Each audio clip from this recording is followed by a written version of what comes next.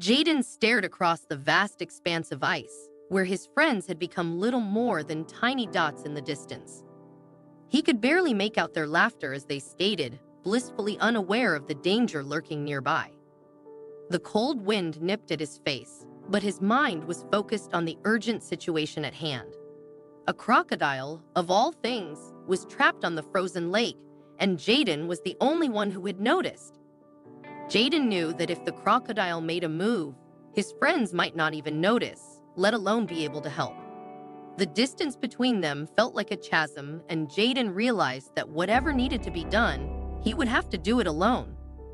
He glanced around, searching for something that could help him break through the thick ice. His ice skates were sharp, but not nearly sharp enough to penetrate the frozen surface. The crocodile's life depended on Jaden's quick thinking, but what could he possibly do? Jaden's first thought was to signal his friends. He waved his arms wildly, shouting at the top of his lungs, hoping the sound would carry across the silent expanse of the lake. But the wind had died down, and his voice seemed to be swallowed by the cold air. No one turned around, but the search was fruitless. He rifled through the car, but there was nothing sharp or heavy enough to be of use. When he finally looked up, he saw his friends skating toward him, their faces a mix of annoyance and concern. They had finally noticed his absence and returned to find out what was going on. What's wrong, Jaden? One of them asked, clearly irritated. There's a crocodile out there, stuck in the ice. Jaden blurted out, his voice trembling with urgency. At first, his friends didn't believe him. A crocodile on a frozen lake? It sounded like a bad joke. But when they saw the seriousness in Jaden's eyes, they followed him back to the spot where the creature lay trapped. As soon as they laid eyes on it, their skepticism turned to disbelief. Holy, it really is a crocodile, one of them muttered, his voice barely above a whisper. After a moment of stunned silence, they all agreed something had to be done to free the crocodile. It was still alive, but time was running out. The group quickly devised a plan. Two of Jaden's friends volunteered to drive to the nearest house and borrow tools to smash through the ice. Jaden and the others stayed behind to keep an eye on the crocodile, making sure it didn't sink deeper into the frozen trap. The minutes dragged on as they waited. The sun hung low in the sky, casting long shadows across the lake, and the temperature seemed to drop even further. Jaden could see the crocodile's breath in the air, misting in the cold. It struggled weakly against the ice, its energy clearly waning. Finally, after what felt like an eternity, the two friends returned, armed with shovels and hammers. They quickly set to work, taking turns smashing at the ice with all their strength. But as Jaden had suspected, the ice was thick, thicker than they had anticipated. For what seemed like ages, their efforts barely made a dent. With every strike, the ice groaned under the pressure. But then, with one particularly hard blow, a network of cracks began to snake across the lake's surface. The cracks spread rapidly, radiating out from the spot where they were standing. Jaden and his friends exchanged worried glances, realizing that they were now in a precarious situation. To make matters worse, the crocodile, sensing its opportunity, began to thrash more violently, trying to claw its way onto the ice. But each time it moved, the ice crumbled beneath its weight, creating even more cracks. The situation was becoming increasingly dangerous for the crocodile and for Jaden and his friends. We need to get off this ice, one of Jaden's friends said urgently, eyeing the spreading cracks with fear. But Jaden couldn't leave the crocodile behind. It was still struggling, still fighting for its life. Despite the risks, Jaden knew he couldn't abandon the creature now. He turned to his friends to explain his plan, but to his dismay, most of them had already started retreating toward the shore, their fear outweighing their desire to help. Jaden sighed and tightened his grip on the shovel. He wasn't about to give up. He carefully approached the crocodile, trying to avoid the most fragile sections of ice. His plan was simple if the crocodile could grip the shovel with its front legs, he would try to pull it out of the water. It was risky, but it was the only option he had. The crocodile, however, had other ideas. As soon as Jaden got close enough, it lashed out, its powerful tail sending a spray of ice shards into the air. Jaden barely managed to avoid the creature's jaws as he thrust the shovel toward it. His friends, watching from a distance, shouted for him to run, but Jaden was determined. He gritted his teeth and held his ground. After a tense struggle, the crocodile finally managed to grip the shovel with its legs. Jaden pulled with all his strength, using every ounce of energy he had left.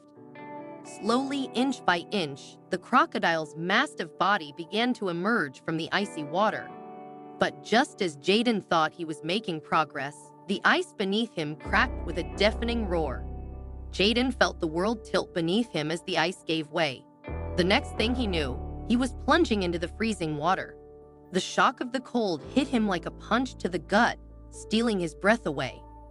He instinctively tried to claw his way back up, but the edges of the ice were too slippery, too fragile to hold his weight. Panic set in as he realized he was trapped.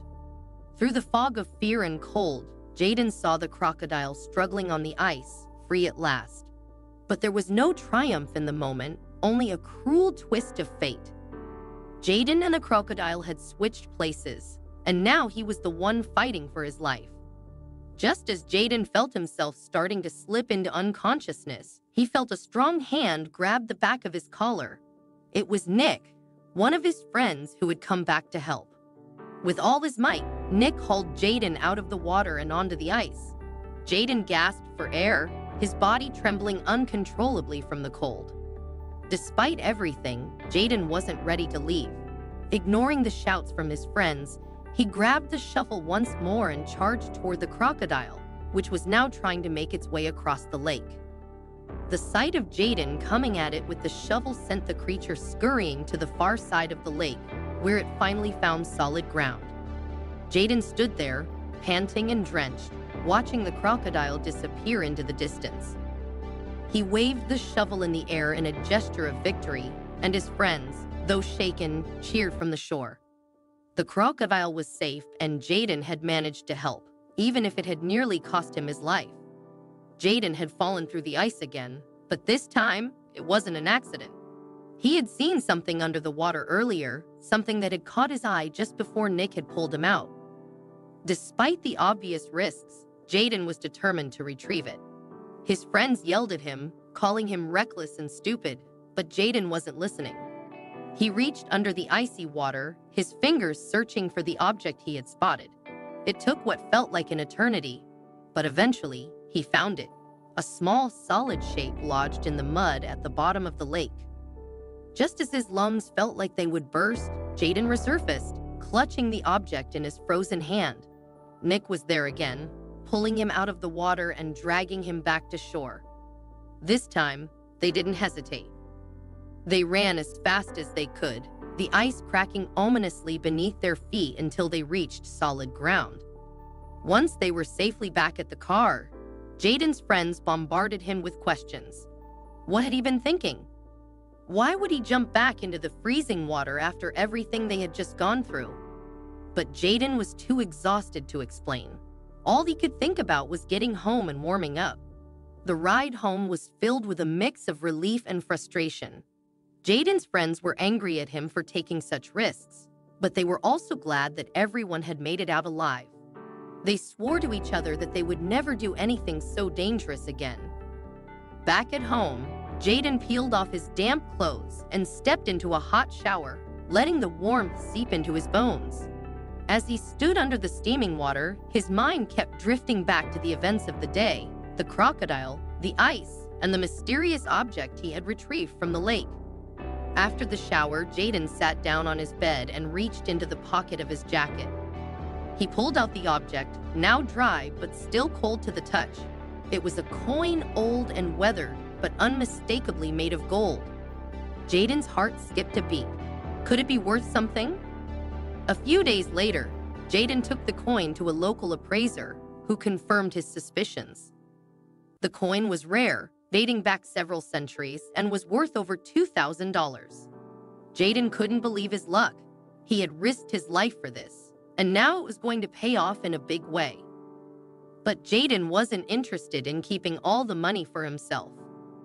The encounter with the crocodile had left a deep impression on him, and he felt a sense of responsibility for the creature that had inadvertently led him to the treasure.